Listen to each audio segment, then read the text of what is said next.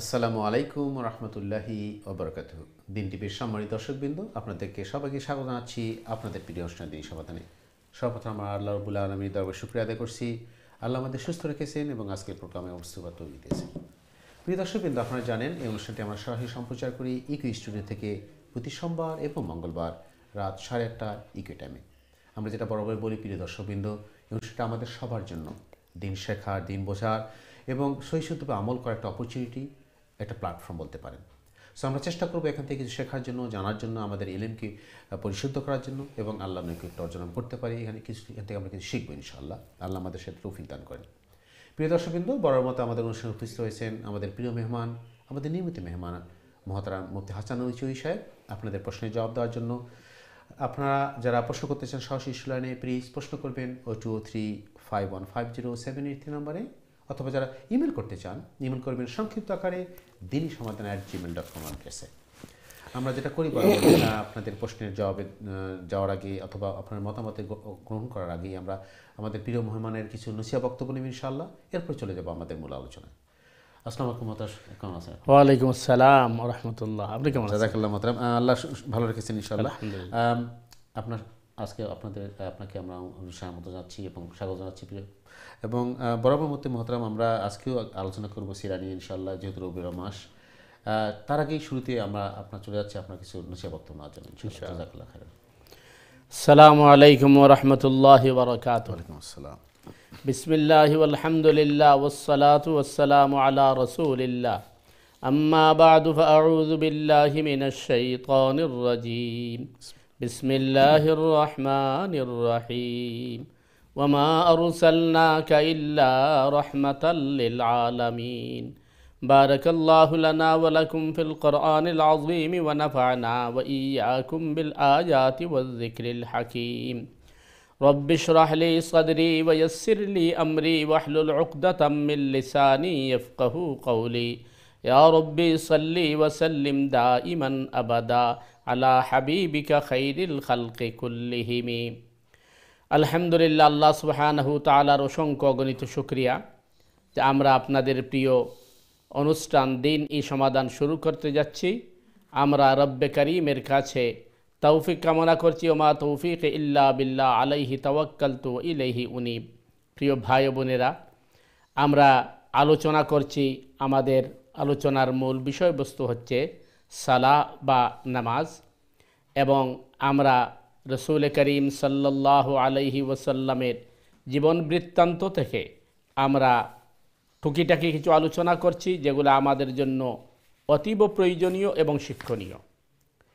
প্রিয় ভাই বোনেরা, আল্লাহ সুবহানাহু তাআলা এরশাদ করেছেন, জমা আরসালনাকা ইল্লা রাহমাতাল্লিল আলামিন। আই রসুল সাল্লাল্লাহু আলাইহি ওয়াসাল্লাম, আপনাকে আমি প্রেরণ করি নাই, কিন্তু একমাত্র সৃষ্টি জগতের রাহমাত স্বরূপ আপনাকে আমি প্রেরণ করেছি। এতে বোঝা যাচ্ছে যে এই সৃষ্টি জগতের জন্য রাহমাতের প্রয়োজন ছিল, লিডারশিপের প্রয়োজন ছিল, নেতৃত্বের প্রয়োজন ছিল এবং আমরা আল্লাহ সুবহানাহু তাআলার কাছে পৌঁছার জন্য আমাদের জন্য উসওয়া বা মডেলের প্রয়োজন ছিল।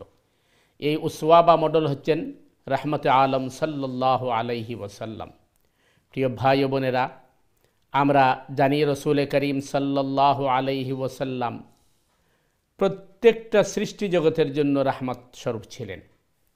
বিশেষ করে আমাদের ছোট্ট ছোট্ট যে সমস্ত শিশু এবং বাচ্চা কাচ্চারা রয়েছে, তাদের জন্য তিনি রহমতের জ্বলন্ত উদাহরণ ছিলেন।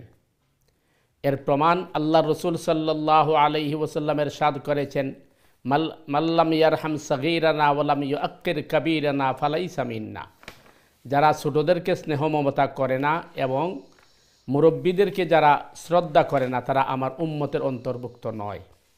অথচ আমরা দেখছি যে আমাদের সমাজ, আমাদের কালচারে একসময় যদিও মুরব্বীদের প্রতি শ্রদ্ধাশীল ছিল, বর্তমান তা অনেকটা কিন্তু কমে যাচ্ছে।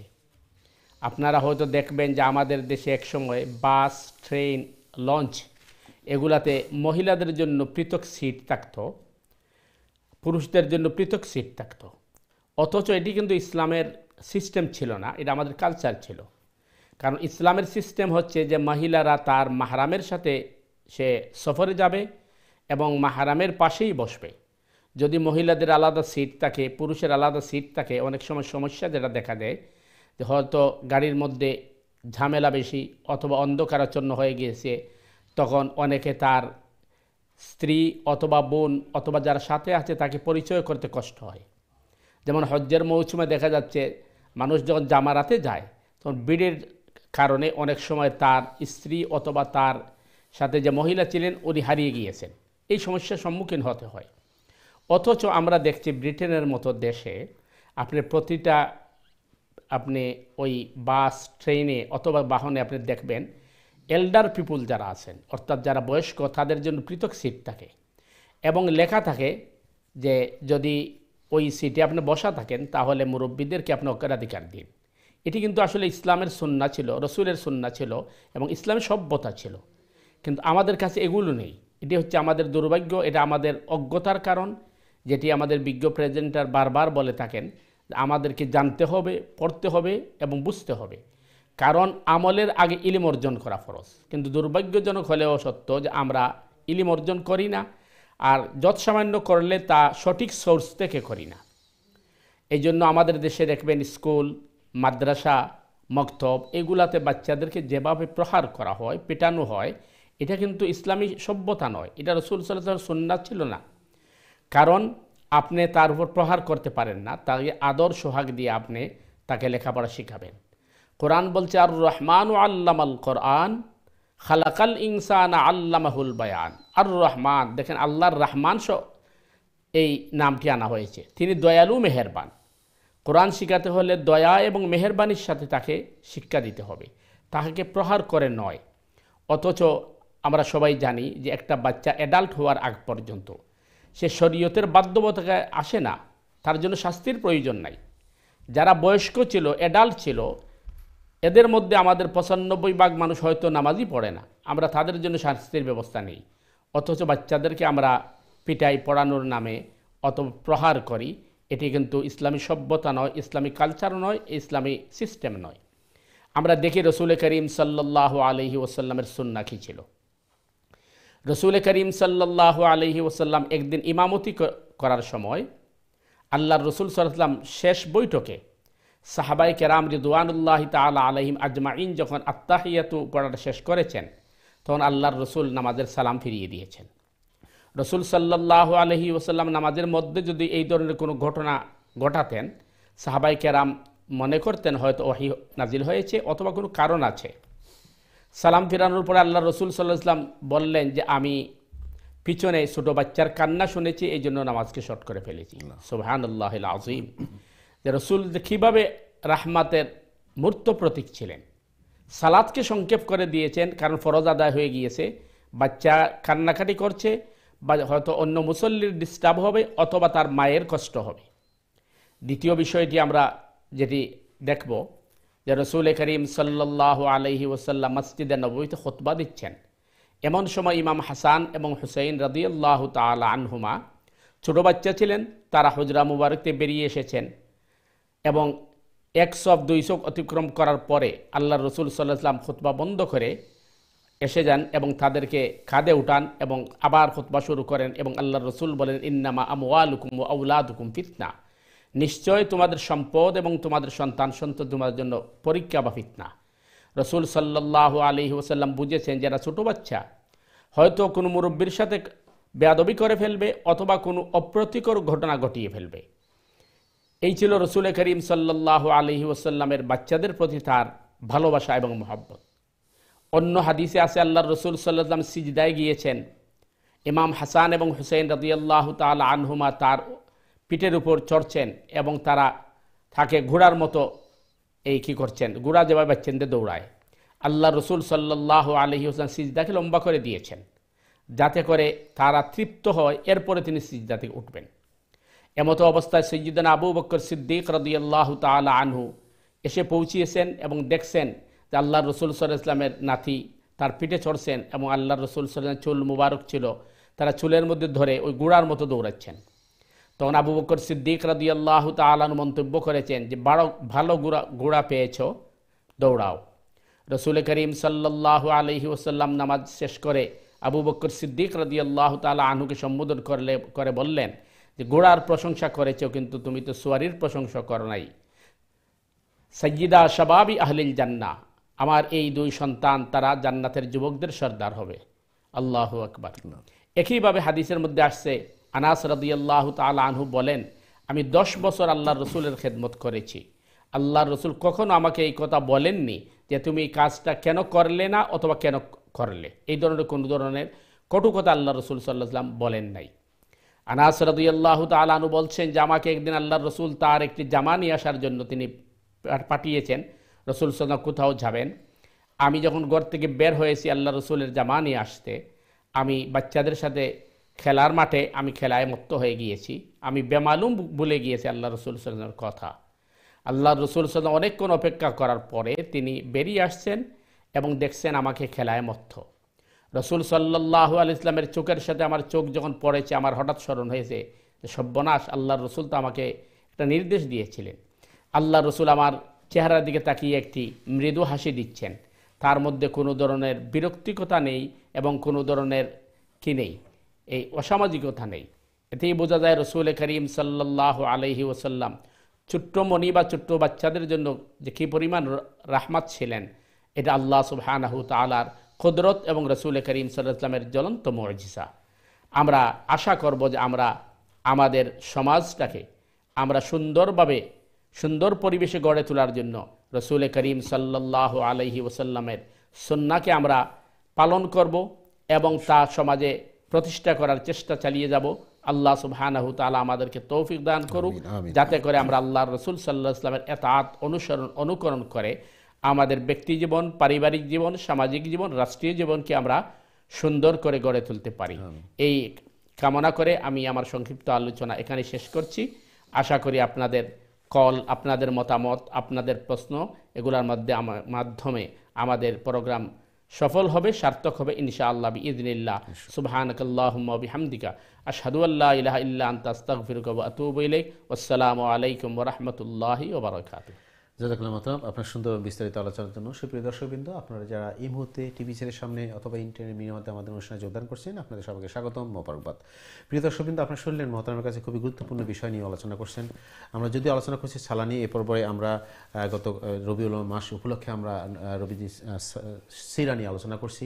সো আপনাদের এই ব্যাপারে প্রশ্ন, জিজ্ঞাসা, মতামত আপনারা দিবেন ইনশাআল্লাহ o two three five one five zero seven এই নাম্বারে। অথবা যারা ইমেল করতে চান ইমেল করবেন সংক্ষিপ্ত আকারে দিনী সমাদার আট জিমেল ডট কম অ্যাড্রেসে অথবা আপনার অন্য দিনী দিনীর ব্যাপারে অন্য কোনো প্রশ্ন থাকলে, মতামত থাকলে আপনি দিবেন। আমরা চেষ্টা করব আপনাদের প্রশ্নের জবাব দেওয়া জাজাকাল্লাহ খারেন মহতরাম, আমরা যেটা দর্শকদের প্রশ্নে যাওয়ার আগে যে জিনিসটা আমি বরাবরই করি, আমি আজকেও এই চান্সটা মিস করব না। সেটা হলো যে, আমরা যদিও আলোচনা করছি নবী সিরা নিয়ে আপনি আলোচনা সুন্দরভাবে বললেন যে আল্লাহ বলেছেন রসুল রহমতুল্লাহ আলমিন। সো উনি সারা বিশ্বের সকল মানুষ সকল সৃষ্টি জগতের জন্য রহমত। সো আমরা কোনোভাবেই কোনো এক্সকিউজ দিয়ে আমরা এটা অ্যাভয়েড করতে পারব না যে এইটা আমরা রসুলের আমাদের শেখার নেই রসুল আমাদের দিক নির্দেশনা দেননি বা কোনো গাইড করেন নাই। সো আমরা আমাদের সেই সুযোগটা নাই। এটা যদি অবস্থা হয় আপনি যেটা সুন্দরভাবে পয়েন্ট আউট করলেন মহতরাম সেটা হলো যে আমরা আমরা ছোটো দেশেই বড় হয়েছি। সো আমরা এটা দেখছি যে আগে আমাদের মুরব্বীদের সম্মান ছিল যে আমরা শ্রদ্ধা দেখাতাম বা আমাদের ছোটদের যে স্নেহ করা হতো মায়ামত আদর করা হতো সেই জিনিসটা কেমন যেন আস্তে আস্তে হয়ে যাচ্ছে কমে যাচ্ছে সাম সাম প্লেসে দেখবেন নাই বলতে চলে এবং পজিটিভ নেগেটিভ দিকে চলে যাচ্ছে। এরকম ঘটনা বহু দেখছি যে আমরা স্পেশালি মুরব্বীদের এবং আলেমাল্লাদের দেখলে আমরা তুচ্ছ তাচ্ছিল্য করি নাও ডেজ যেটা দেখা যাচ্ছে। এই যে একটা পরিবর্তন হচ্ছে কেন? এটা কি আমাদের আপনি যেটা বললেন আমাদের ইসলামের জ্ঞান না থাকার কারণে? অথবা ইসলামের প্রতি আমাদের আমরা থেকে দূরে চলে যাচ্ছি ইসলামিক কালচার শিক্ষা থেকে দূরে চলে যাচ্ছি? নাকি অন্য কোনো কারণ আছে যেটা একটু যদি আমাদেরকে বলতেন? দেখেন ইসলামের কতগুলো সিস্টেম বা নিয়ম আছে। ইসলাম কোনো আইন অথবা কোনো বিধান হুট করে প্রবর্তন করে নাই। কারণ কোনো বিধান হুট করে প্রবর্তন করলে ওটা আইন যারা পালন করবে তাদের জন্য কষ্টের মাধ্যম কারণ হয়ে যায়। হুম, এই জন্য আমরা যদি কোরআনে করিম স্টাডি করি তাহলে দেখা যাচ্ছে যে মদ হারাম করার জন্য আল্লাহ তাআলা বেশ কয়েকটা ধাপ নিয়েছে। ডেফিনেটলি প্রথম আল্লাহ সুবহানাহু তাআলা বলছেন ইয়া আইয়ুহাল্লাযীন আমানু লা তাকরাবুস সালাতা ওয়া আনতুম সুকারা হাত্তা তাআলামু মা তাকুলুন. মানে যে কোনো আইন প্রবর্তনের আগে আল্লাহ বিভিন্ন স্টেপ স্লো করছেন। পরিবেশ তৈরি করে যে একটা এনভায়রনমেন্ট তৈরি করার পরে প্রথমে আসব আমার খুব ইন্টারেস্টিং মনে হচ্ছে জিনিসটা এবং আমাদের জানা দরকার আসলে এই বিষয়গুলো যে ইসলাম কীভাবে একটা আইনকে প্রতিষ্ঠিত করল স্লোলি স্লোলি আমাদের এই সমাজকে সুন্দর করার জন্য। আমরা আসব ইনশাল্লাহ আলোচনায়। সুপ্রিয় দর্শকবৃন্দ আম, আমরা চলে যাচ্ছি আপনাদের প্রশ্ন নেওয়ার জন্য। আহ, ইনশাল্লাহ আমরা চলে যাচ্ছি দেখি প্রশ্নে আমাদের কে আছেন আজকে প্রথম কলার দর্শক আসসালামু আলাইকুম। আপনার প্রশ্ন করুন প্লিজ হ্যালো হ্যালো আসসালামু আলাইকুম। ওয়ালাইকুম সালাম। জি বোন কেমন আছেন? কেমন আছেন? আলহামদুলিল্লাহ আপনি কেমন আছেন বোন? আলহামদুলিল্লাহ। জি কি প্রশ্ন? আমার দুইটা প্রশ্ন। জি, বলেন, please. একটা প্রশ্ন হইল প্রথম প্রশ্ন হইল আনফালে টোয়েন্টি চব্বিশ নম্বর আয়াতে দেখলাম আল্লাহ তালা মানুষ ও তাহার অন্তরের মধ্যস্থলে আড়াল হইয়ে থাকেন ওইটাতে আমি বুঝতে চাই। বুঝে গেছে নাকি? ক্লিয়ার ক্লিয়ার অসুবিধা নেই আলফা আর একটা প্রশ্ন দেখলাম যে সাবগা ফর্জ এন্ড নফল গরিবের জন্য। সাদকা ফর্জ কোনটা আর নফল কোনটা? ওকে সাদাকার ফরজ আর নফল ওকে হ্যাঁ ওইটা ফর্জ কোনটা আর নফল কোনটা? আমি বুঝতে পারছি। ওকে নো প্রবলেম সুন্দর প্রশ্নের জন্য ধন্যবাদ বোন। আচ্ছা, আপনি রেগুলার রেগুলার কলার আপনাকে আমরা মোবাইল যাচ্ছি আপনি রেগুলার অনুষ্ঠান দেখেন। আমি বোন- বিনীতভাবে অনুরোধ করব বোন আপনি আপনার নিজেও দেখবেন ইনশাল্লাহ আত্মীয় স্বজন বন্ধু বান্ধবকে দাওয়াত দিবেন তারাও দেখবে এবং এখান থেকে আমরা চেষ্টা করব শেখার জন্য এবং আমাদের জীবনকে পরিচালিত করব ইনশাল্লাহ আমরা চলে যাচ্ছি আমাদের পরবর্তী কলার কাছে ইনশাল্লাহ দেখি কে আছেন আমাদের কলার আসসালামু আলাইকুম। জি আপনার প্রশ্ন করুন প্লিজ আসসালামু আলাইকুম হাজি মোহাম্মদ শফিকুল আলম কুরাইশ বানলি থেকে মাত্রাম প্রথম। আমি স্যারের কাছে সালাম দেই। জি আসসালামু আলাইকুম ওয়ালাইকুম সালাম। বলতাম তো স্যারের যে হাদিস হয়েছেন হযরত আবু বকর সিদ্দিকী এবং নবীজির যে হাদিস হয়েছেন এবং আনাস সাইদুল্লাহ আলাইসাল্লামে আমি ওখান কইতাম চাই হজরত ইসা আলাইসাল্লাম আখেরি জমানায় মোহাম্মদী উম্মতি এত দুনিয়ায় তাইবা সই আইবা, আর কোরআন অনুযায়ী আইবা একজাক্টলি কোরআন অনুযায়ী তাইলে উইটনেস থাকব। কিন্তু আমার কত হইল, তাই নিয়ে তো নেতৃত্ব দিবা না দুনিয়ায়। দুনিয়া তাই কেন জানবা ওহির মাধ্যমে যে নবী যে ব্যস্ত ফাঁসক নমাজ পড়ায় আর সুন্দর সুন্দর গল্প আমরা শুক্রবারে আমরা ইমামে বয়ান এমেলা ব্যস্ত নবীকে বয়ান করুন এখানে সাত গুণ সুন্দর বেশ। ইসানে বিয়োগ জানবা বেশ কিলা এবং টাইম যদি না জানুন তাইনের রু তো বেশ থাকতেইব তাইনে বেশ তো সবে মেলা দিব তাইনের ওয়াইফের লোকে আর নাইলে তাইনের প্রেম জেনে ইটা হে সাক্ষী দিব আল্লাহ স্বয়ং সাক্ষী দিতে হইবা তাইনের প্রেমের। আর নাইলে তাইনের তাইনে তো বিয়া এখানেও করবা তাইনে তো দশখান করতা না তা জি। ওয়ালাইকুম সালাম। আপনার সুন্দর মতামত বা প্রশ্নের জন্য ধন্যবাদ। আপনি রেগুলার আমাদের প্রশ্ন করেন আমাদের কিছু মতামত দেন। জাজাকাল্লাহ খারেন ইনশাল্লাহ আপনি অবশ্যই দেখতে থাকুন হাজি সাহেব। আমরা চেষ্টা করব আপনার প্রশ্নের এবং আলোচনা করা- করার জন্য আপনার মতামত দিয়ে। আমরা চলে যাচ্ছি আমাদের পরবর্তী করার কাছে। দর্শক আসসালামু আলাইকুম। আপনার প্রশ্ন করুন প্লিজ ওয়ালাইকুম আসসালাম ভাই কেমন আছেন? জি আলহামদুলিল্লাহ আমরা ভালো আছি। আপনি কেমন আছেন? আলহামদুলিল্লাহ ভালো আছি। একটু বিষয়টা একটু লম্বা একটু বুঝে জি প্লিজ জি। চেষ্টা করেন সংক্ষিপ্তভাবে প্রশ্নটা করার জন্য যেন আমরা অন্য তারপরে আমি চেষ্টা করব জি জাজাকাল্লাহ খারেন জি। একটা বয়ানে শুনলাম নবীজির মিলাদুন নবী আলোচনা উপলক্ষে সরি সিরাতুন নবী। প্রথম কইলা যে নবী চল্লিশ বছর বয়স পর্যন্ত এটা হইল মিলাদুন নবী। আর চল্লিশের পরে নবতী জাহির হওয়ার পরে এটা হইলা সিরাতুন নবী। জি। আর কইলা বয়ানো যে যেদিন ইসলাম জন্ম নিছেন এই দিন মা আমিনার কপাল একটা নূর আছিল আবু তালিব আব্দুল মুতালিব সাথে সাথে যে তোমার কপালের এই নূরটা হয়ে গেল।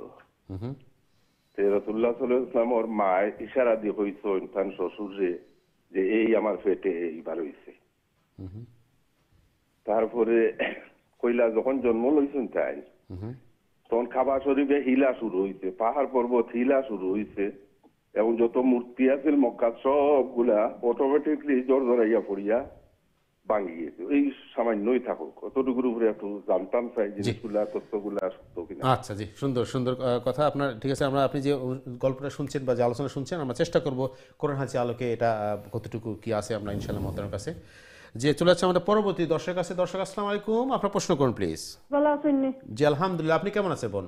জি আলহামদুলিল্লাহ জাজাকাল্লাহ খান। জি, আপনি কি- একটা প্রশ্ন হুজুর। জি বলেন বোন। কোন মেয়ের আখ ছড়াইয়া যদি চার পাঁচ দুই তিন মাস রাখা যায় করো ই দেশও নাই দেশও আর তারা ভালো যোগাযোগ থাকব তারা তারা দুজনে যেমন অন্য দেশও আর মেয়ে বাংলাদেশও এটা কিতা কতদিন পর্যন্ত রাখা যায় না রাখা যায় ওটা আমি জানতাম চাই আপনি একটু দাঁড়িয়ে থেকে আপনি ছেলে কি এদেশে? আর মেয়ে বাংলাদেশে এটা বলতেছেন।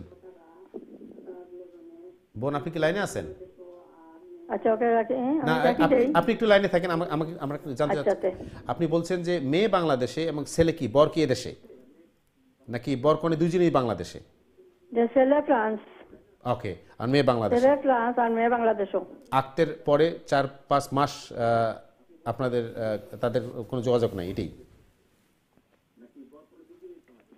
আপনি যদি টিভির ভলিউম কমিয়ে দিয়ে আমার সাথে ফোনে একটু কথা বলতেন সম্মানিত দর্শক।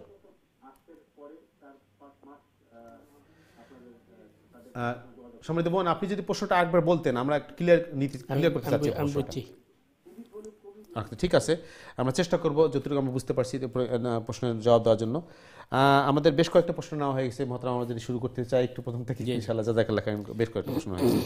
ওকে প্রথম প্রশ্ন ছিল ভাইয়ের সেটা হল যে না বোনের আল ফাল্লা সুরার চব্বিশ নয় আয়াতের ব্যাখ্যাটা জানা যাচ্ছেন যেমন প্রথম যে প্রশ্ন আপনার সুরে আনফালের চব্বিশ নম্বর আয়াত।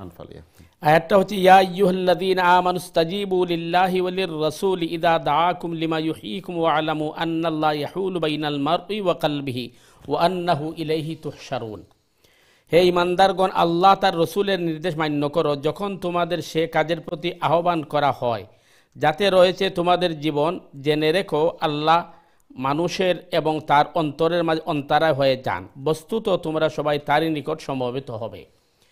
এই আয়াতের প্রথম অংশে যে বিষয়টি, সেটি হচ্ছে যে একজন সাহাবি নামাজরত অবস্থায় ছিলেন। এমন সময় আল্লাহ রসুল সাল্লাহ ইসলাম তাকে কল করেছিলেন, ডাকছিলেন। ওই সাহাবি প্রথমে তার নামাজ শেষ করেছেন, এরপরে রসুল করিম সাল্লামের খেদমতে গেছেন। আল্লাহ রসুল সাল্লাম বলেছেন যে, তুমি, আমি তো তোমাকে ডাকি নাই। উনি বলছেন, ইয়া রসুল্লাহ আপনি ডাকছেন ঠিকই কিন্তু আমি তখন নামাজরত অবস্থায় ছিলাম।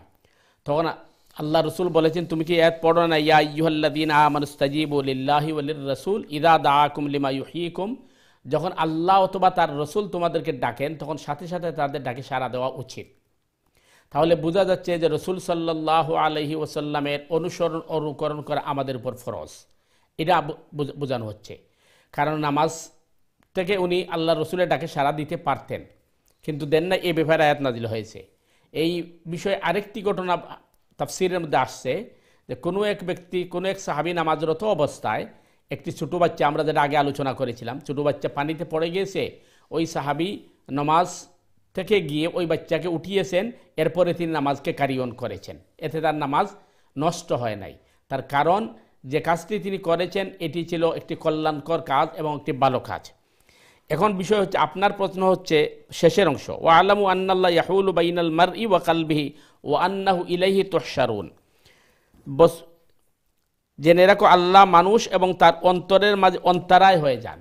আল্লাহ সুবাহানাহু তাআলা মানুষের অন্তরের মধ্যে বাধা প্রদান করেন অথবা অন্তরায় হন কীভাবে? এটি আপনার প্রশ্ন। এই আয়াতের ব্যাপারে তাফসির কারকদের অভিমত হচ্ছে যে, একজন মুমিন যখন ইমান আনে এবং আল্লাহ সুবহানাহু তাআলার উপর তাওয়াক্কুল করে। তখন আল্লাহ সুবহানাহু তাআলা তার কল, তার অন্তরকে আল্লাহ দিনের উপর টিকিয়ে রাখেন। অর্থাৎ কুফুর অথবা কোনো ধরনের অন্যায় কাজ সে যেন তার অন্তর যেন সেদিকে না যায় এই জন্য আল্লাহ সুবাহানাহু তালা মুমিনদেরকে কি করেন?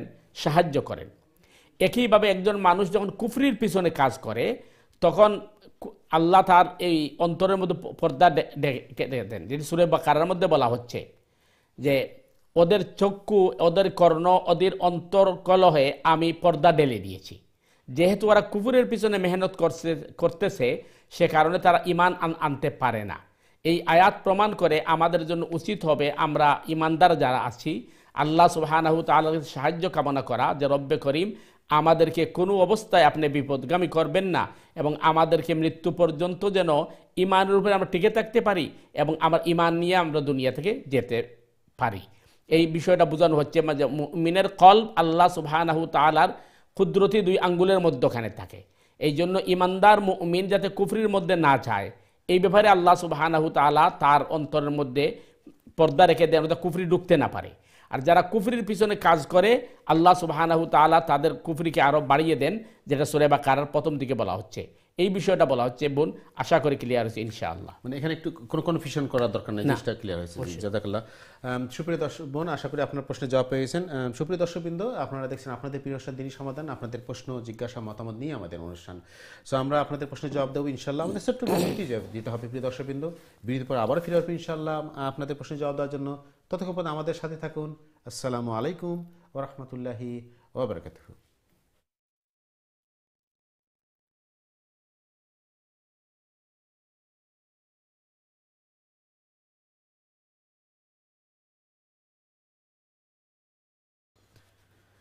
আসসালামু আলাইকুম রহমতুল্লাহি অবরকাতু দিনটি সময় দর্শকবৃন্দ, বিরতির পর আবারও আপনাদের স্বাগত জানাচ্ছি আপনাদের প্রিয় অনুষ্ঠান দিনী সমাধানে। আমরা আলোচনা করছি সিরা নিয়ে সিরাতুল নবী নিয়ে যদিও আমরা এটা আলোচনার অংশ আমাদের সালার মধ্যে সো আপনারা যারা প্রশ্ন করতে চান সিরা নিয়ে অথবা অন্য কোনো বিষয় নিয়ে ইনশাল্লাহ আর প্রশ্ন করবেন o two o three five one five zero seven three নম্বরে এবং আপনারা যদি ইমেল করতে চান ইমেল করবেন দিনই সমাধান অ্যাট জিমেল ডট কম অ্যাড্রেসে প্রিয় দর্শকবৃন্দ আমরা চলে যাচ্ছি সরাসরি আপনাদের প্রশ্নের জবাব দেওয়ার জন্য।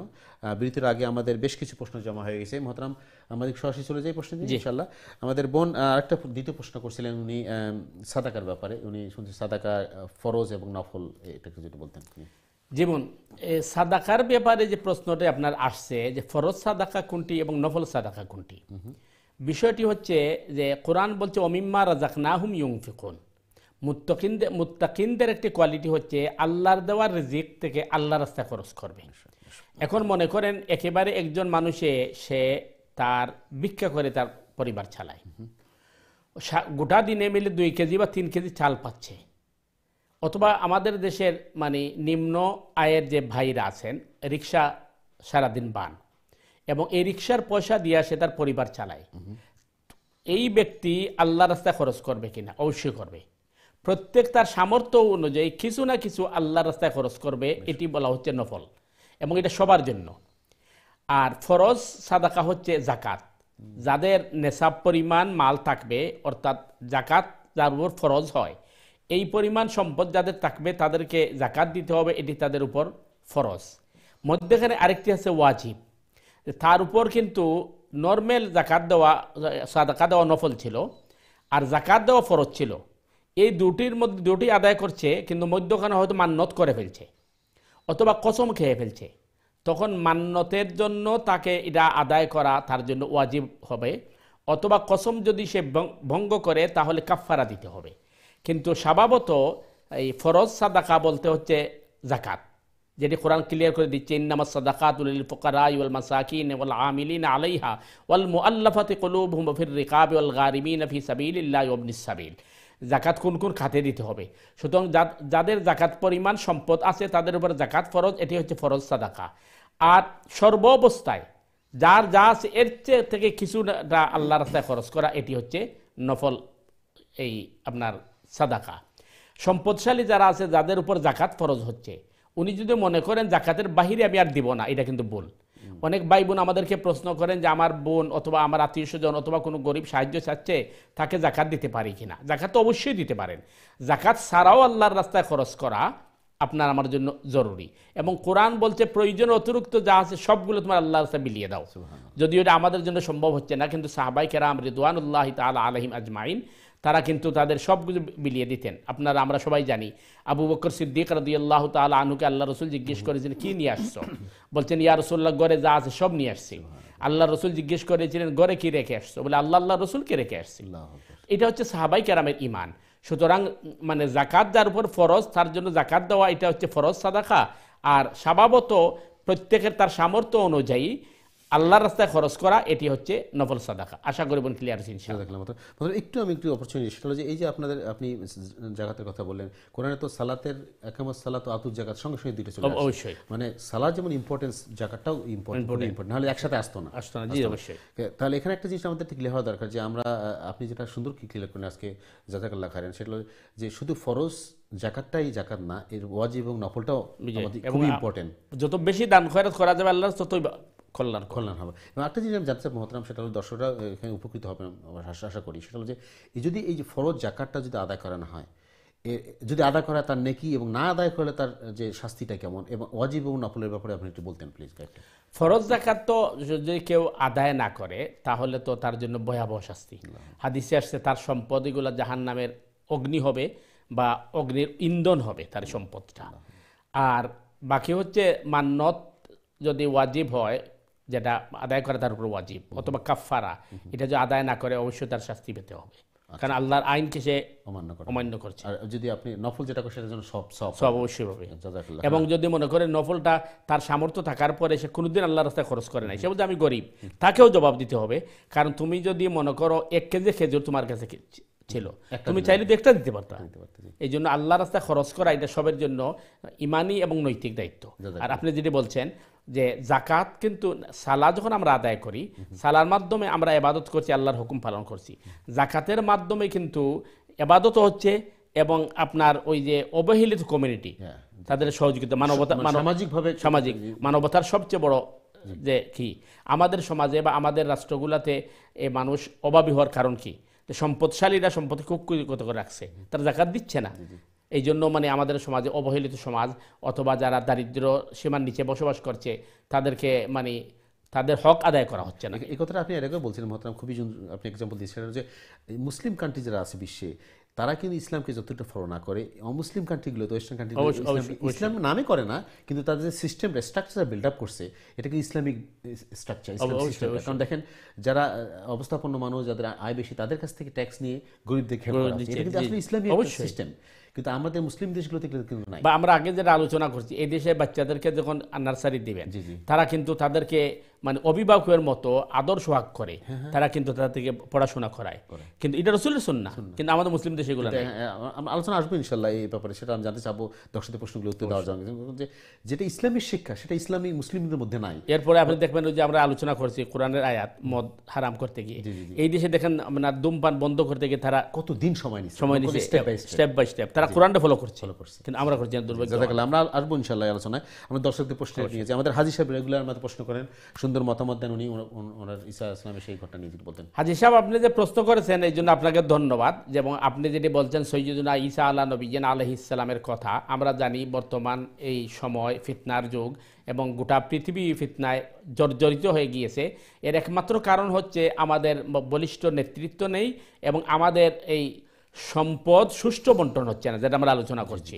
সুতরাং কোরআনে করিম বা হাদিসের পরিভাষা ইমাম মেহাদি এবং ঈসা আলহি ইসলাম আওয়ার পরে আশা করি আমরা আমাদের বলিষ্ঠ নেতৃত্ব আসবে এবং মুসলিম উম্মা আবার তার পুনর্জাগরণে চলে যাবে এবং দুনিয়াকে আমরা দেখাতে পারব যে ইসলাম একটি নিকুত এবং নির্ভুল কি।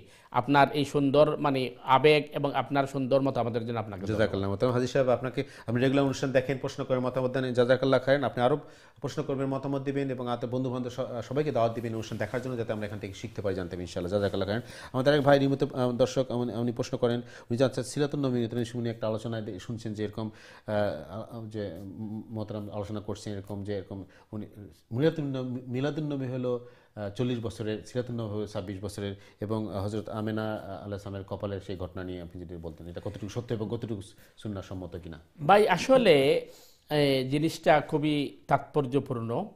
আমরা আলোচনা করব যাতে মুসলিম ভাই বোনেরা আমরা সঠিক পথে আসতে পারি।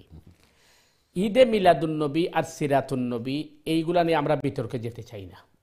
তার কারণ হচ্ছে যে, যারা ঈদে মিলাদুন্নবী উদযাপন করছেন অথবা সিরাতুন্নবী উদযাপন করছেন এরা সবাই কিন্তু রসুল প্রেমিক এবং সবার মধ্যে কিন্তু আপনার রসু- রসুলের প্রতি তাদের আবেগ এবং ভালোবাসাকে আমরা শ্রদ্ধা করি। হতে পারে যে আমরা মানে কতটুকু সুন্না পদ্ধতি অবলম্বন করছি অথবা করছি না। যারা সুন্না পদ্ধতি অবলম্বন করছি না আমরা চেষ্টা করব করার যাতে আমাদের আমলটা বৃথা না যায়। আপনারা দেখছেন যে Eamon Malaysia Indonesia lakh lakh মানুষ র্যালি বাহির করছে ঈদে মিলাদুন্নবীর নামে। আর অন্যান্য জায়গার মধ্যে সিরাত নামে কনফারেন্স হচ্ছে, সমাবেশ হচ্ছে। বিষয়টি হচ্ছে যে দেখেন, চিন্তা করে যে কোরআনে করিমের মধ্যে মিলাদুন্নবী এবং সিরাতুন্নবী কোনো আলোচনাই নাই। কোরআনে করিমের মধ্যে আমাদেরকে যেটা বলা হচ্ছে যে ইন্নাকাল আলা হলুকেন আজিম নিশ্চয় আপনাকে আমি উত্তম চরিত্রের অধিকারী বানিয়েছি। অন্যত্র বলা হচ্ছে, লাকাদ কান আলাকুম ফি রাসূলিল্লাহ উসওয়াতুন হাসানা। নিশ্চয় মোহাম্মদুর রসুল্লাহ সাল্লাল্লাহু আলাইহি ওয়াসাল্লাম তোমাদের জন্য উত্তম মডেল। এবং অন্যত্র আল্লাহ সুবাহানাহু তাআলা আমাদেরকে বলছেন যে, ওমা রুসাল্লা কাইল্লা রাহমাতাল্লিল আলামিন। রসুল করিম সাল্লাহ ইসলামকে রাহমাত স্বরূপ প্রেরণ করা হয়েছে। কোরআন এই আলোচনাগুলো করেছে। এতে বোঝা যাচ্ছে যে সুন্দর যে বিষয়টা আপনি নিয়ে আসছেন, মিলাদ শব্দের অর্থ হচ্ছে রসুল সাল্লাহ ইসলামের জন্ম। সুতরাং রসুলের জন্মটাকে নিয়ে আমরা যে উনচল্লিশ বছর পর্যন্ত দেখি। যখন রসুলের নবদ ঘোষণা হয় নাই। এইটাকে অনেকে হয়তো বলতে পারেন যে এটা রসুলের মিলা মিলাদ বা তার জন্ম বা জন্ম আলোচনা অথবা তার এই নবদ ঘোষণার আগের যে জীবন। আর চল্লিশ বছর বয়সে যেহেতু আল্লাহ রসুলের নবদ ঘোষণা হয়েছে এর পরবর্তী সময়টা অর্থাৎ তেইশ বছরের জিন্দিগি আল্লাহ রসুল সাল্লাহ ইসলামের নবুয়ত কাল ছিল।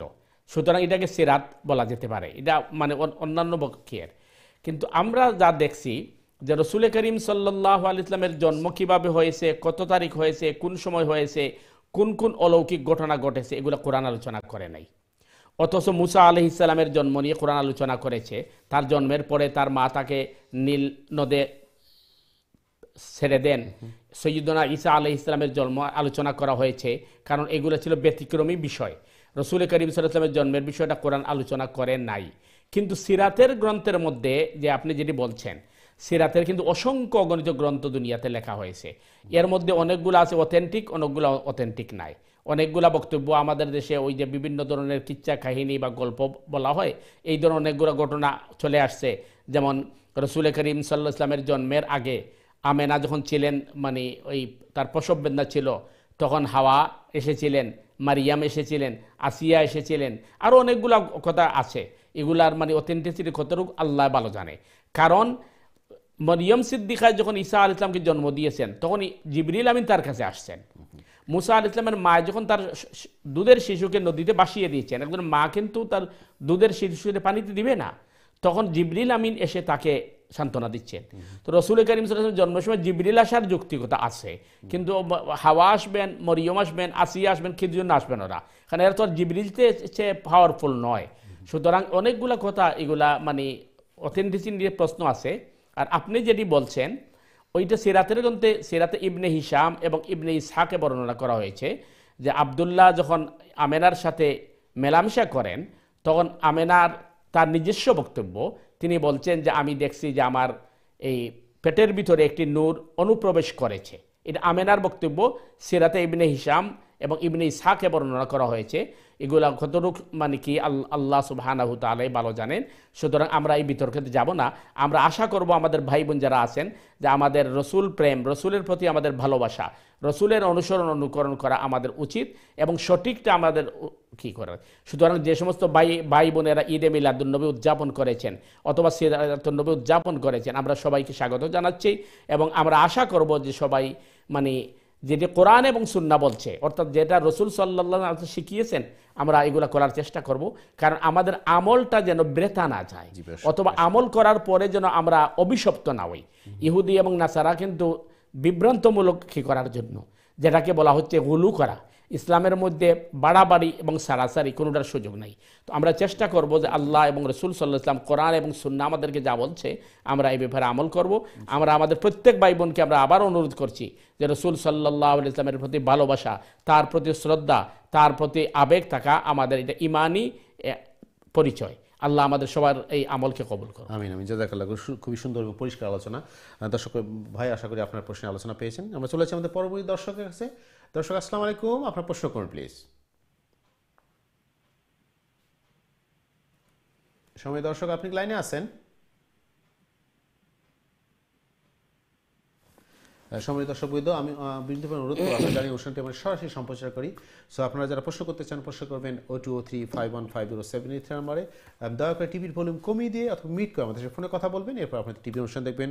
এবং যারা ইমেল করতে চান, ইমেল করবেন সংক্ষিপ্ত আকারে দিনই সমাধান আর জিমেল ডট কম অ্যাড্রেসে আমরা আমাদের আরেক বোন প্রশ্ন করছিলেন ওই, তার মেয়ে বাংলাদেশে, ছেলে বিদেশে তাদের আট হয়ে গেছে চার পাঁচ মাস আগে, এই ব্যাপারে আপনার মন্তব্যটা একটু বলতে জি আপ- জি বোন, আপনি যে প্রশ্ন করছেন, এটা আমাদের কাছে অনেক সময় আসে যে হয়তো প্রবাসে কোনো ভাই থাকেন, উনি দেশে বিয়ে করেছেন অথবা দেশে তার বিয়ের আগ্রহ হয়েছে, কিন্তু তিনি দেশে যেতে হয়তো দুই বছর, তিন বছর সময় লাগতে পারে, অথবা তার ওয়াইফকে যদি আনতে চান তাহলে সময় লাগবে। এই বিষয়, এই মানে এই সময়টুকু তার জন্য ঠিক কিনা বা কতদিন পর্যন্ত তিনি থাকতে পারবেন?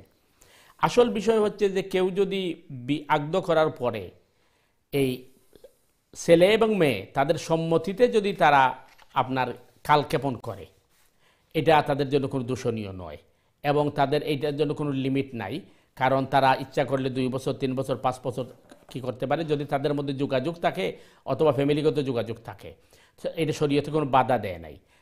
যেখানে একটি প্রশ্ন আসছে যে যদি কেউ তার ওয়াইফের সাথে সম্পর্ক বিচ্ছিন্ন করে ফেলে, সম্পর্ক না রাখে তাহলে তার বিয়ে কতদিন পর্যন্ত টিকবে? এটি হচ্ছে প্রশ্ন। এটা কর- করছেন উনি, হয়তো এক বছর বা দুই বছর সময় যেতে পারে। উভয়ের সম্মতি থাকলে শরীয়ত এ ব্যাপারে কোনো বাধা দেয় না। তবে শর্ত হচ্ছে যে উভয়ের মধ্যে কেউ যেন গুনার কাজের মধ্যে জড়িত না হন।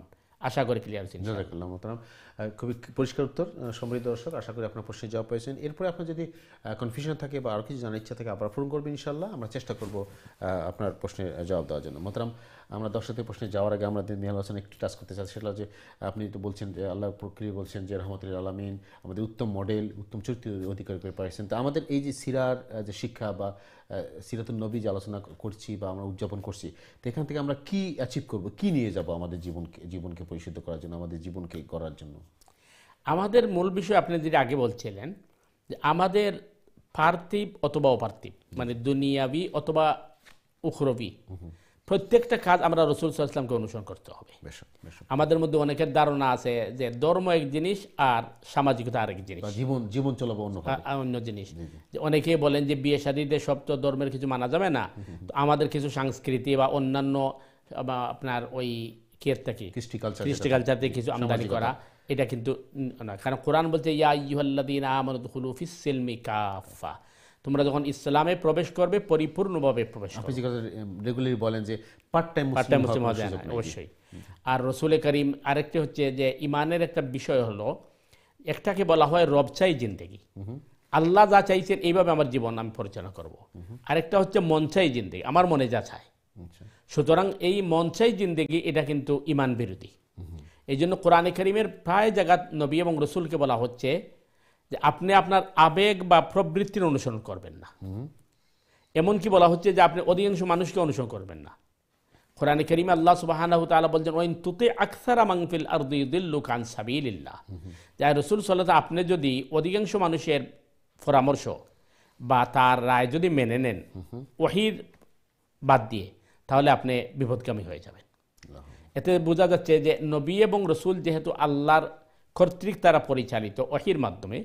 সুতরাং আমাদের ব্যক্তি জীবনটাকে নিয়ে আমাদের রাষ্ট্রীয় জীবন আন্তর্জাতিক জীবন অর্থাৎ পার্থিব অপার্থিব সব বিষয়গুলো আল্লাহ রসুল সাল্লাহ ইসলামের অনুসরণ অনুকরণ করতে হবে। এবং প্রতিটা বিষয় আল্লাহ রসুল সাল্লাহ ইসলাম আমাদেরকে কিন্তু দেখিয়ে গেছেন তিনি এটার মডেল এমন কোনো বিষয় নাই যে যে বিষয় রসুল সাল্লাহ ইসলাম মানে তার জীবনের মধ্যে পাওয়া যাচ্ছে না।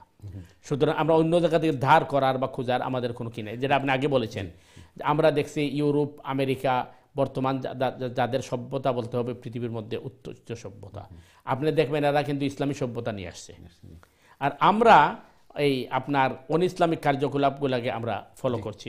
আমরা মনে করছি এটাই মনে হয় আমাদের জন্য উন্নতি আধুনিকতা। আধুনিক মানে আধুনিকতার নামে আমরা তাদের অন ইসলামিক জিনিসটা গ্রহণ করছি তারা মুসলিম হয়ে ইসলাম থেকে শিক্ষাটা নিয়ে। তারা তাদের সমাজে প্রতিষ্ঠিত করছে অবশ্যই। তো আরেকটা জিনিস আমরা প্রথমে আলোচনা করলেন মহাতারাম সেটা যে এই যে আমাদের আমাদের যে কালচার আমাদের ইসলামী শিক্ষার মধ্যে যে শিক্ষাটা ছিল নবীর শিক্ষা উসরাতুল হাসনা হিসাবে যে জিনিস শিক্ষা উত্তম চরিত্র শিক্ষা নবী আমাদের শিক্ষা দিয়েছেন, বড়দের সম্মান করা, শ্রদ্ধা করা, ছোটদের আদর স্নেহ করা এবং মহিলাদেরকে যত সম্মান দেওয়া, এই যে শিক্ষাগুলো ইসলাম দিয়েছে, যেটা গোটা বিশ্ব নিয়েছে বিভিন্নভাবে, বিভিন্ন নামে নিল, তারা ইসলামের নামে নেয়নি, কিন্তু এখান থেকে আমরা দূরে চলে যাচ্ছি, মুসলিমরা দূরে চলে যাচ্ছে এবং আমরা বিজাতীয় শিক্ষা নিচ্ছি বা অমুসলিমের শিক্ষা নিয়ে অন ইসলামিক শিক্ষা নিয়ে আমাদের জীবনকে করতেছি কারণটা কি? কেন আমরা ইসলাম থেকে দূরে চলে যাচ্ছি? কারণ ওইটা ওই আপনি আগে যেটা বলছিলেন প্রথমত হচ্ছে যে দেখেন আমাদের সমাজে ইসলাম কিন্তু নারীদেরকে সম্মান দিচ্ছে। তার কারণ তখনকার সময় এরা সবচেয়ে নির্যাতিত ছিল। এবং ছোট শিশুদেরকে ইসলাম সম্মান দিয়েছে। তার কারণ হচ্ছে ওই সময় ছোট শিশুদেরকে কিডন্যাপ করা হতো এবং বিভিন্নভাবে গোলাম বানিয়ে বিক্রি করে হত্যা করা হতো। তো এইগুলা সবটাকে ইসলাম কিন্তু একটি সুন্দর পরিবেশে নিয়ে আসছে। অথচ আমাদের সমাজের নারীবাদী অথবা নারী দিবসের নামে আমরা অপসংস্কৃতি। চর্চা করছি। এটি হচ্ছে আমাদের দুর্ভাগ্য। এর কারণ হচ্ছে দুটি। একটি হচ্ছে যে আমাদের এই জ্ঞানের দৈন্যতা। আর একটি হচ্ছে যে আমরা পরিবেশ তৈরি করতে পারি নাই। এই জন্য ইসলাম সবচেয়ে গুরুত্ব দিয়েছে আগে আপনি উত্তম পরিবেশ তৈরি করা। উত্তম পরিবেশ তৈরি করলে দেখবেন অনেক সময় যে আপনার ওই অনেক মন্দ মানুষ বা মন্দ কাজ ভালোতে রূপান্তর পরিবেশের কারণে, পরিবেশের কারণে- জি, হ্যাঁ। এই জন্য আসলে আমাদেরকে ওই ইসলামী পরিবেশ তৈরি করতে হবে। আর ইসলামী পরিবেশ করতে তৈরি করতে গিয়ে তাকে ছাপ দিতে দেওয়া যাবে না। যে আগে আমরা যেটা বলছি যখন দেখা গেল আল্লাহ সুবাহানাহু তাআলা তো আগেই জানেন যে মদ এটি ভালো জিনিস নয়। আল্লাহ হারাম করে দিতে পারতেন। এক কথাই বলি কালকে থেকে জি জি। জি। এবং এই কোরআনের যে ঘটনার মধ্যে বলা হচ্ছে সৈয়দনা ওমর ফারুক রাদি আল্লাহ তালা আনুর ইচ্ছা অনুযায়ী কোরআনের সতেরোটি আয়াত নাজিল হয়েছে। ওকে এই জায়গাতে আমরা আসব ফিরে আসি যে সতেরোটি আয়াত ইনশাল্লাহ আলোচনা করব। প্রিয় দর্শকবৃন্দ আমি যেটা বড়ভাবে বলি এই অনুষ্ঠানটি আসলে আমাদের সমাজের কিছু আমরা শিখব এখান থেকে কোরআন হাদিসের আলোচনা শিখব আমাদের ইসলামিক জ্ঞানকে একটু বৃদ্ধি করব এখান থেকে আমল কীভাবে পরিশুদ্ধ করব যাতে আমরা আল্লাহ নৈকট্য অর্জন করি। এই আমাদের উদ্দেশ্য। সো আপনারা প্রশ্ন করবেন মতামত দিবেন জানবেন। আপনাদের প্রশ্ন অনুযায়ী আমরাও জানব আপনার প্রশ্ন করলে। সে আল্লাহ আমাদের আল্লাহ আমাদের সবাই তৌফিক দান এখান থেকে শিক্ষা অর্জন করার জন্য। আমরা চলেছি আমাদের পরবর্তী দর্শক আছে। দর্শক আসসালামু আলাইকুম। আপনার প্রশ্ন করুন প্লিজ ওয়ালাইকুম সালাম। জি ভাই আপনার কি প্রশ্ন বলেন? হ্যালো আসসালামু আলাইকুম। ওয়ালাইকুম সালাম। জি প্রশ্ন বলেন। আসসালামু আলাইকুম। ওয়ালাইকুম আসসালাম আমরা শুনছি আপনার কি প্রশ্ন বলেন? আমি একটা প্রশ্ন করতাম আসলাম আপনাদের কাছে। জি বলেন। যে আমি যেন নমাজ পড়ি বুঝছেন নি? জি।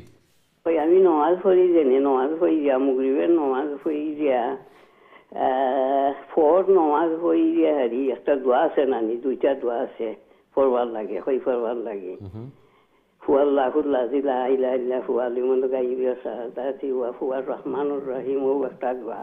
আর এর বাদে হইল আল্লাহুম্মা আনতা রাব্বি লা ইলাহা ইল্লা আনতা খালাকতানি হইল দুইটা দোয়া এর বাদে আর একটাও তিনটা দোয়া। ফরজ নমাজ হই দিয়া পড়তাম নি না ফরজ নমাজ পরে পড়তাম মুক্তা তাই জানতাম তাই সুন্দর আমাকে জাজাকাল্লাহ জি জাজাকাল্লাহ খায়ের সুন্দর প্রশ্ন করছেন আপনি মুরব্বী।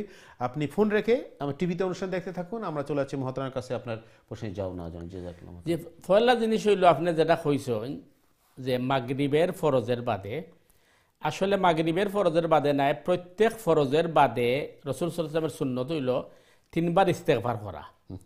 এর বাদে আল্লাহ সালাম অমিনকে সালাম এই দোয়া পড়া আরও কিছু তাসপি আছে এগুলো পাঠ করা।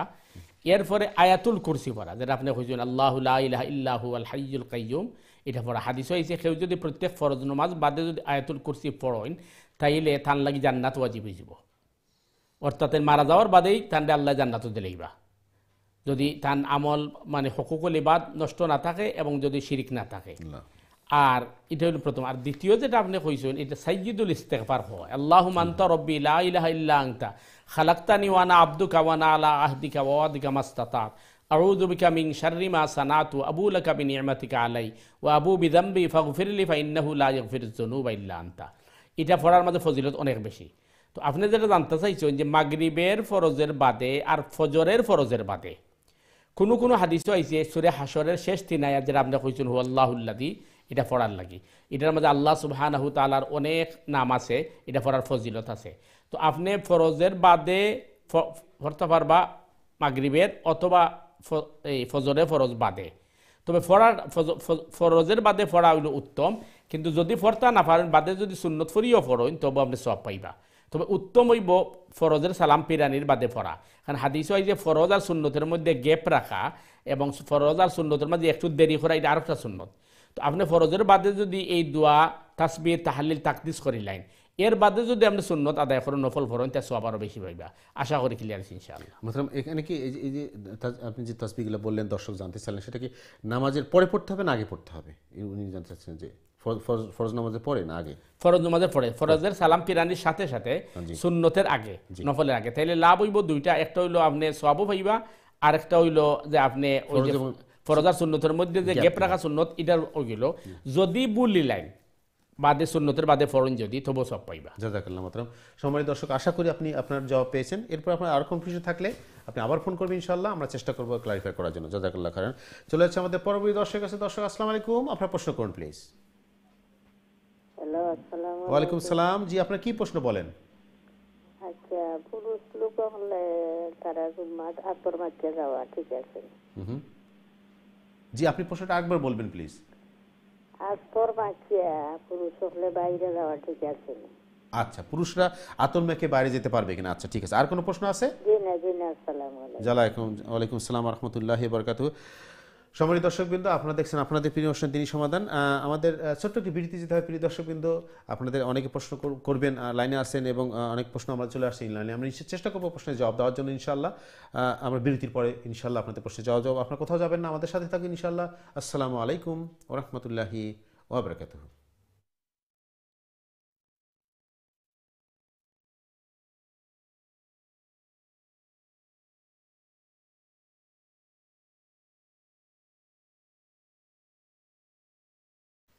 আসসালামু আলাইকুম রহমতুল্লাহি ওবরকাত দিন টিভির সম্মানিত দর্শকবৃন্দ, বিরতির পরে আবারও আপনাদের স্বাগত জানাচ্ছি আপনাদের প্রিয় অনুষ্ঠান দিনী সমাধানে। যারা এই মুহূর্তে টিভি সেটের সামনে অথবা ইন্টারনেট মিডিয়ার মধ্যে আমাদের অনুষ্ঠানে যোগদান করছেন, আপনাদের সবাই মোবারবাদ এবং স্বাগতম। প্রিয় দর্শকবৃন্দ, আপনারা যারা নিয়মিত অনুষ্ঠান দেখে আপনারা জানেন, এই অনুষ্ঠানটা আমি সরাসরি সম্প্রচার করি ইউকি স্টুডিও থেকে প্রতি সোমবার এবং মঙ্গলবার ইউকিটা আমরা সাড়ে আটটায়, যেটা আমরা বলি প্রিয় দর্শকবৃন্দ অনুষ্ঠানটা আমাদের সবার জন্য। দিন শেখার, দিন বোঝার জন্য এবং কোরআন হাদিসের আলোকে আমরা কিছু আলোচনা করি কিছু নসিয়া বক্তব্য দিই। এখান থেকে আমরা নিজে, আমরা শিখব কিছু, জানব। আমাদের ইলেমকে বৃদ্ধি করব এবং আমলকে পরিশুদ্ধ করব যাতে আমরা আল্লাহর নৈকট্য অর্জন করতে পারি। এ আমাদের প্রত্যাশা, এ আমাদের ইচ্ছা। সো আপনারা যারা প্রশ্ন করতে চান, প্রশ্ন করবেন সশিষ্ট লাইনে o two o three five one five zero seven eight নম্বরে।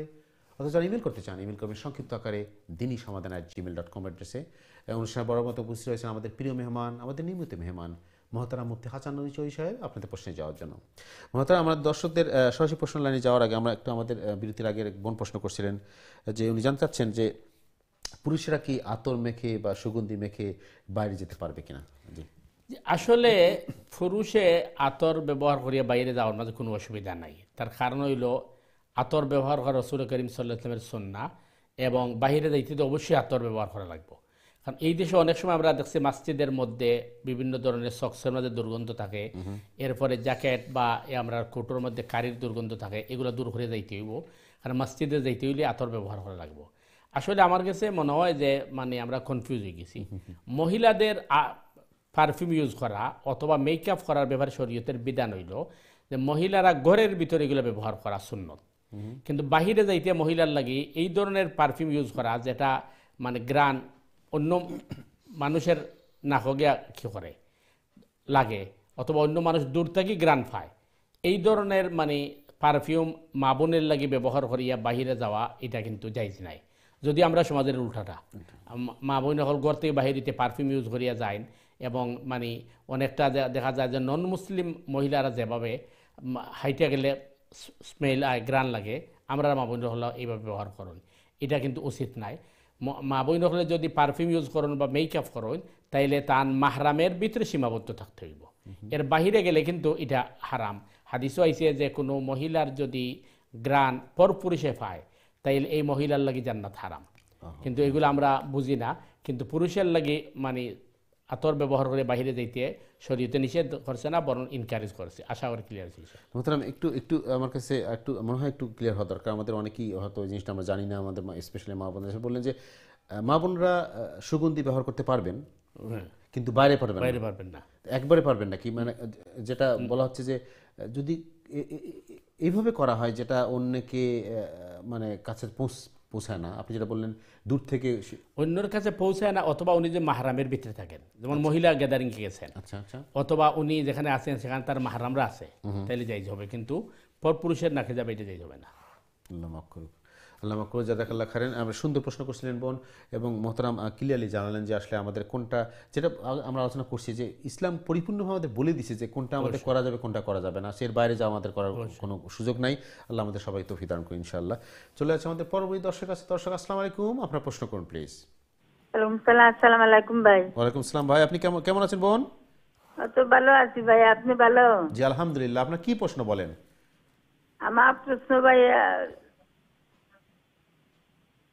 আমার প্রশ্ন ভাই।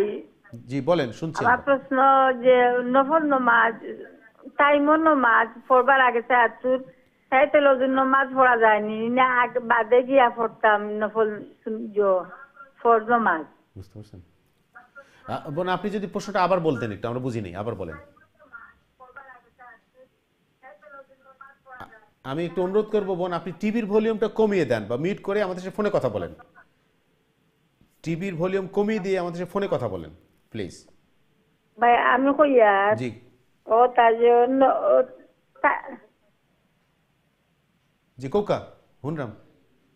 আমি ভাই কইয়ার ও না নামাজর। জি কৌকা। নামাজর যে সুন্নত যে- যে কোনো রেখাতর নামাজ ভাই খাড়া হইলাম না নি।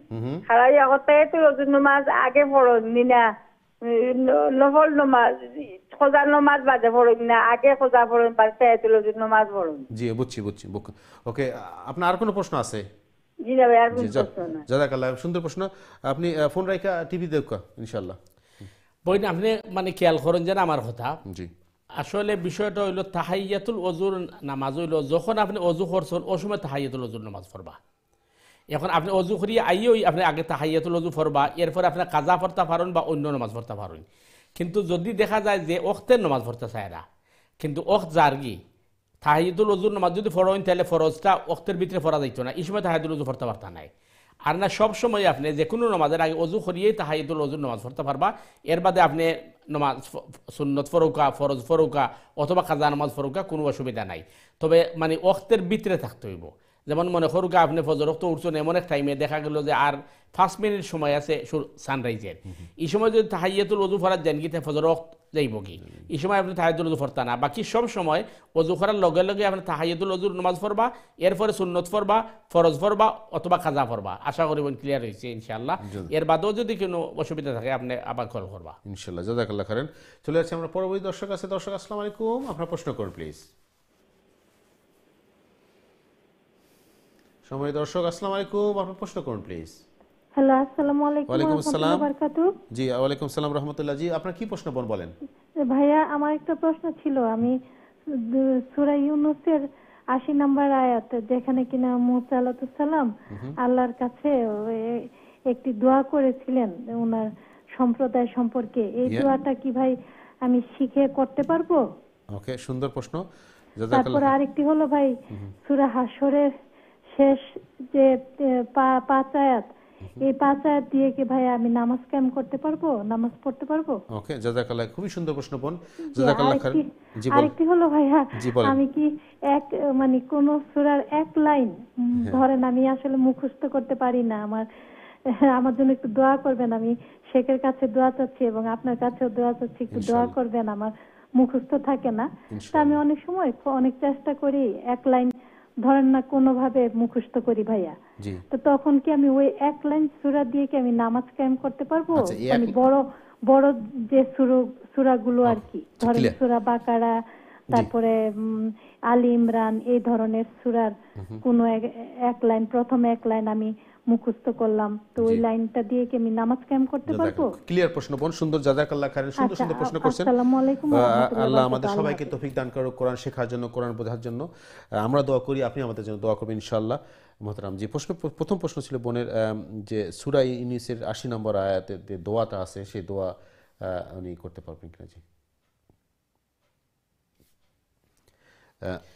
জি আসলে মানে সুরে ইউনুসের আশি নম্বর আয়াত যেটা ফালাম্মাসাই আসু মিনহু খালাসু নাজিয়া কালা কাবীরুহুম আলাম তাআলামু আন্না আবাকুম কাদ আখাযা আলাইকুম মাউসিকাম মিন আল্লাহি ওয়া মিন ক্বাবলু মা ফাররাততুম ফি ইউসুফ ফালান আবরাহাল আরদা হাত্তা ইয়াযানা লি আবি আও ইয়াহকুম আল্লাহু লি ওয়া হুয়া খায়রুল হাকিমিন এটা হচ্ছে সুরে ইউনুসের আশি নম্বর আয়াত তার অর্থ হচ্ছে অতঃপর যখন তার কাছ থেকে নিরাশ হয়ে গেল তখন পরামর্শের জন্য এখানে বসল তাদের জ্যৈষ্ঠ ভাই বলল, তোমরা কি জানো না যে পিতা তোমাদের কাছ থেকে আল্লাহর নামে অঙ্গীকার নিয়েছেন এবং পূর্বে ইউসুফের ব্যাপারে তোমরা অন্যায় করেছ?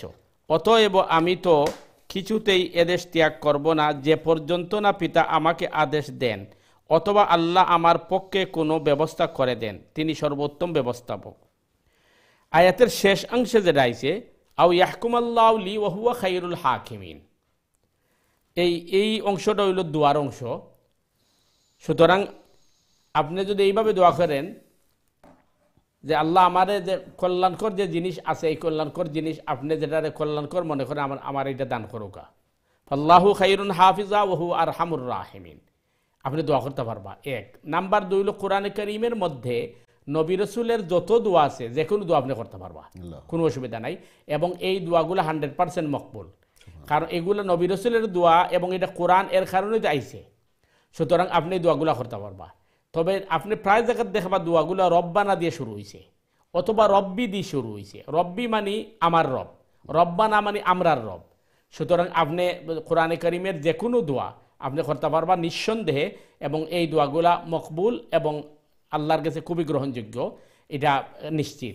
কোরআনে করিমের বাদে হাদিসের মধ্যে যে দোয়াগুলো আছে, এই দোয়াগুলা হইল কোরআনের বাদে সবচেয়ে উত্তম।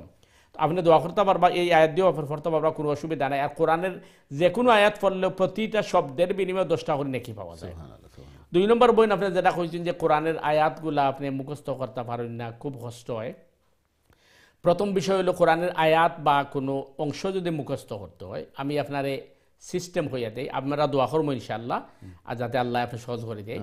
নাম্বার এক হইল যে আপনি একসাথে বইয়ে এক ঘণ্টা তিলাওত করেন যদি এরপরে যদি আর মানে উঠোন তাইলে মুখস্থ করা যায় না। মুখস্থ করার সিস্টেম হইল আপনি আপনার ব্রেইনডে সময় দিতে হইবা।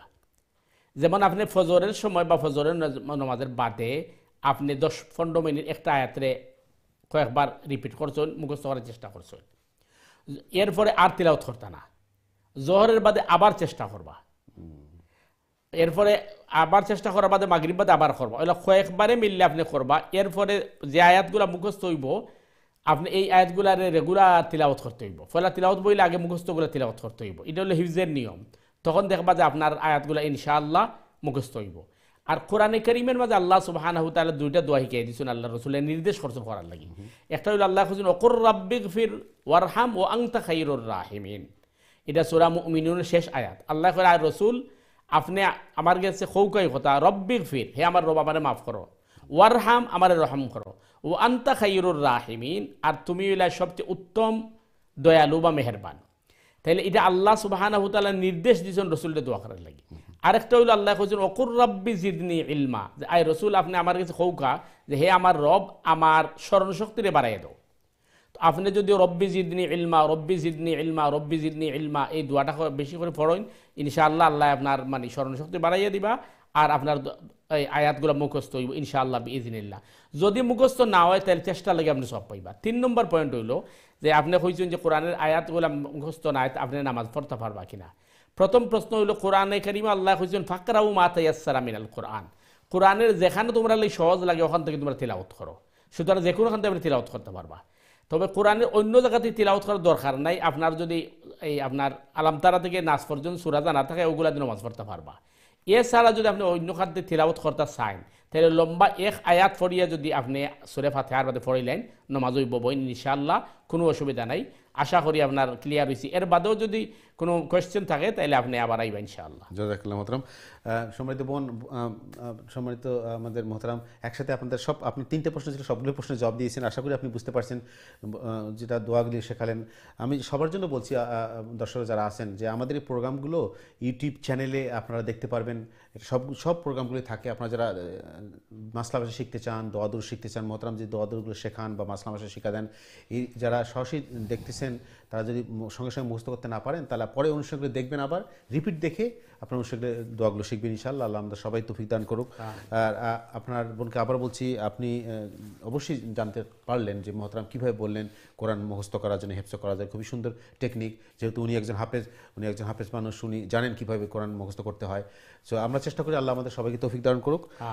কোরআন শেখার কোরআন বোঝার এবং কোরআন মেমোরাইজ করার জন্য। আমিন। চলে যাচ্ছে আমাদের পরবর্তী দর্শক আছে। দর্শক আসসালামু আলাইকুম। আপনার প্রশ্ন করুন প্লিজ সালাম আলাইকুম। ওয়ালাইকুম আসসালাম ভাই আপনি কেমন আছেন? আলহামদুলিল্লাহ। জি আপনার কি প্রশ্ন ভাই বলেন। আমি একটা প্রশ্ন মুফতি সাহেবের কাছে প্লিজ জি। আমরা উমরার জন্য যাই।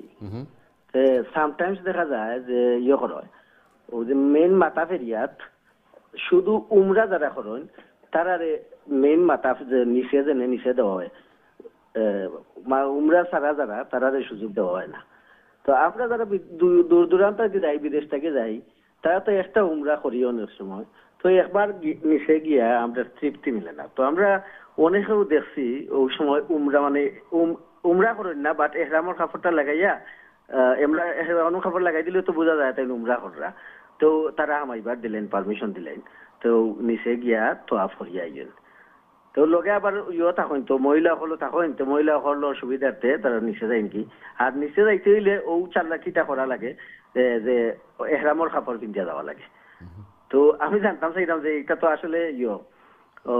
রুলও ভঙ্গ করা হয় যে উদ্দেশ্যের যে রুল যেটা ওটা ভঙ্গ করা হয় বাট এটা তো আমরা একটা মনের তৃপ্তির ব্যাপার আমরা তো বারবার যাইতে পারতাম না বারবার যাই না একবার গেলাম একবারে আমরা মনের তৃপ্তি হয় না। বুঝতে পারছি। সেই হিসাবে আমরা বারবার আল্লাহ করে খান্ডা যেতাম চাই জি বুঝতে পারছি এটা ঠিক আছে কিনা ঠিক আছে নি। বুঝছি? প্রশ্ন বুঝা গেছে জি ক্লিয়ার প্রশ্ন ভাই ক্লিয়ার প্রশ্ন জি হয়তো আপনার মতো এর অনেকেরই প্রশ্ন আছে এই জিনিসটা আল্লাহ আমাদের সবাই তৌফিক দান করুন জি মোহতারাম সুন্দর প্রশ্ন। জি ভাই সুন্দর প্রশ্ন এবং আপনার আগ্রহ আবেগরে আল্লাহ কবুল করুক আমিন, আমরা দোয়া করি। যে আপনি যেটা করা যে যখন মাথাফের মধ্যে যাইতে হইলে তারা উমরার খারি সারা করে যাইতে দেয় না। তো আসলে কিন্তু যেহেতু এই সময় উমরাকারী যারা আছেন এরা যে তোয়াফে কুদুম করেন ও তোয়াফে কুদুম করার সময় বিট থাকে বেশি।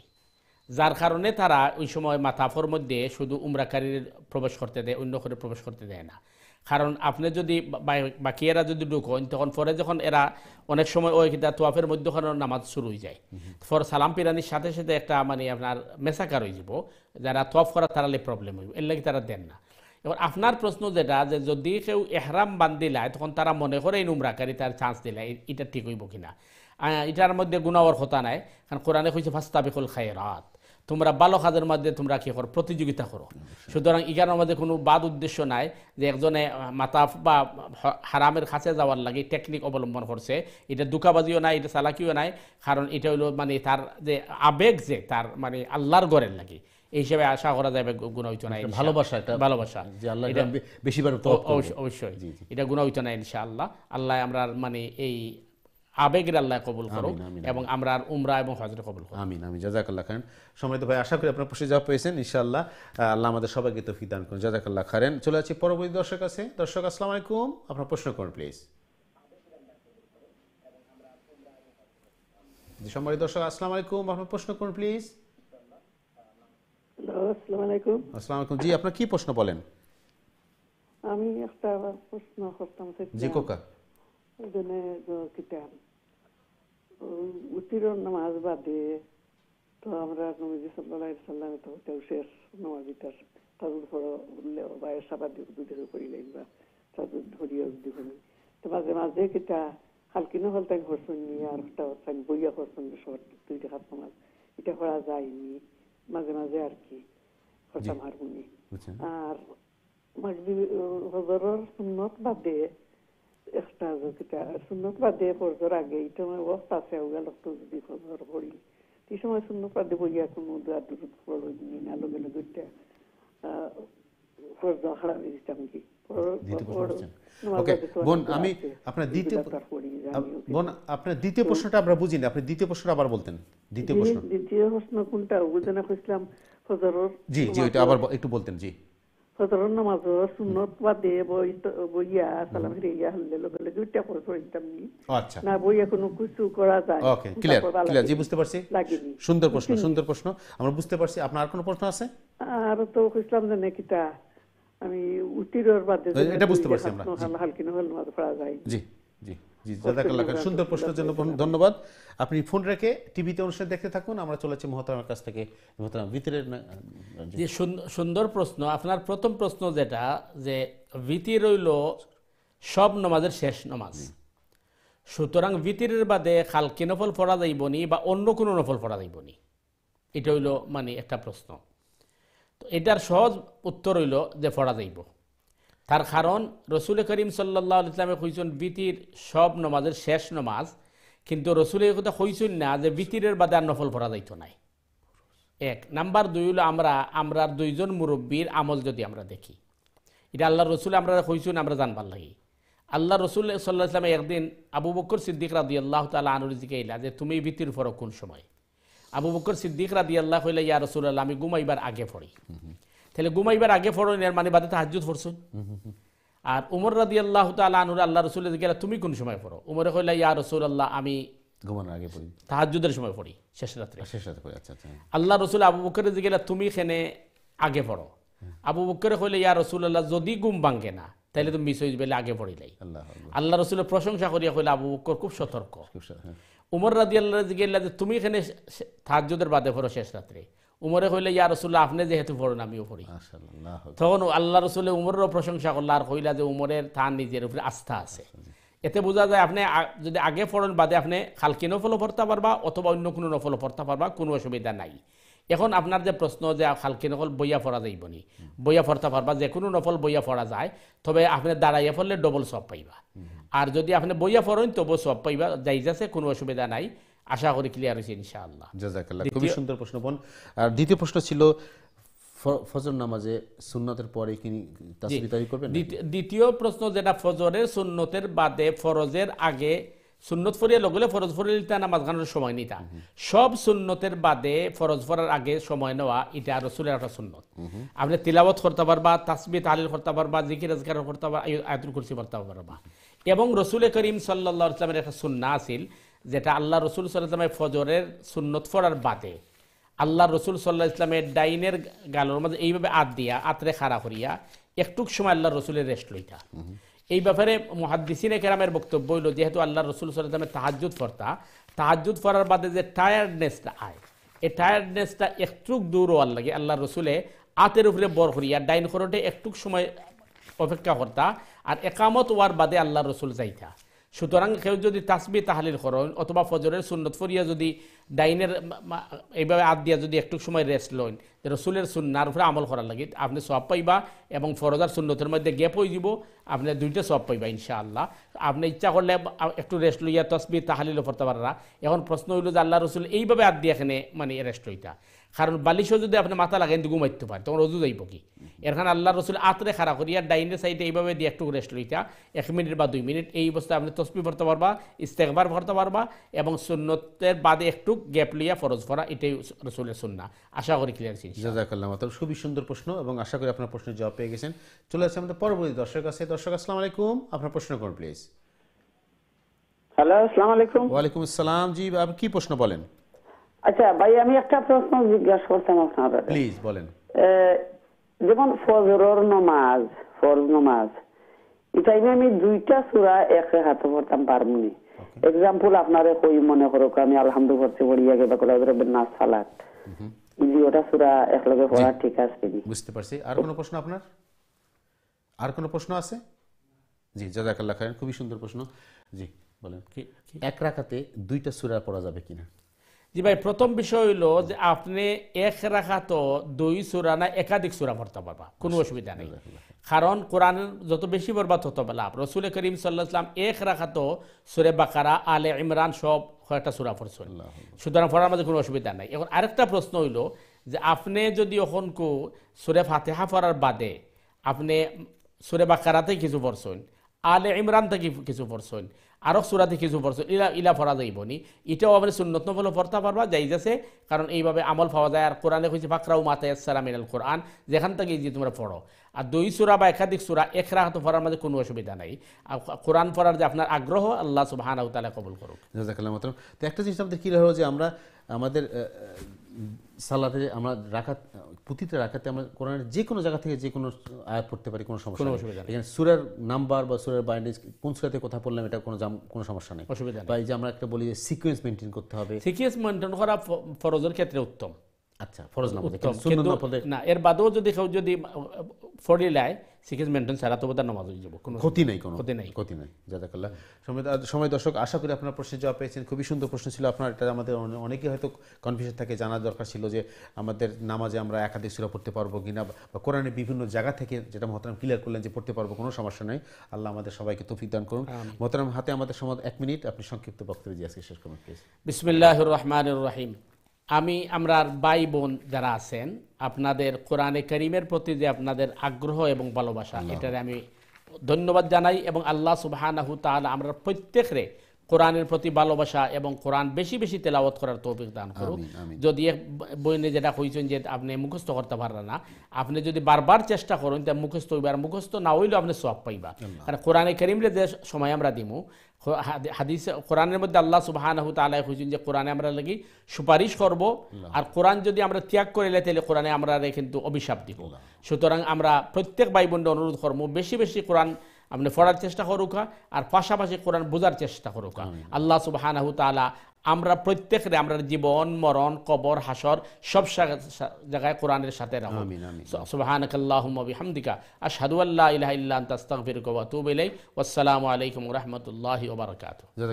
আপনাকে আবারও সুবিধা আদায় করছি। আপনি শত ব্যস্ত আমাদের সময় দিচ্ছেন এই জন্য। হাইয়াকুম। জাজাকাল্লাহ খারেন সুপ্রিয় দর্শকবৃন্দ আপনারা যারা শুরু থেকে আমাদের অনুষ্ঠান দেখছেন প্রশ্ন করছেন মতামত দিয়েছেন আপনাদের সবাইকে ধন্যবাদ যাচ্ছি আপনাদেরকে শুক্রিয়া আদায় করছি। আপনার অনুষ্ঠান দেখছেন বলেই আমাদের অনুষ্ঠানটা সার্থক হলো।